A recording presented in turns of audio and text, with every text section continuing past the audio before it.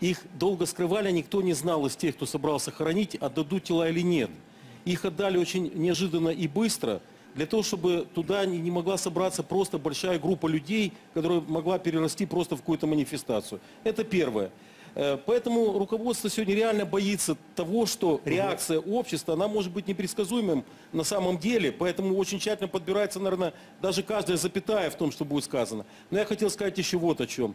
Понимаете, самое страшное, что безопасность украинского народа, она стала э, продуктом какого-то вообще и политического, и государственного безразличия.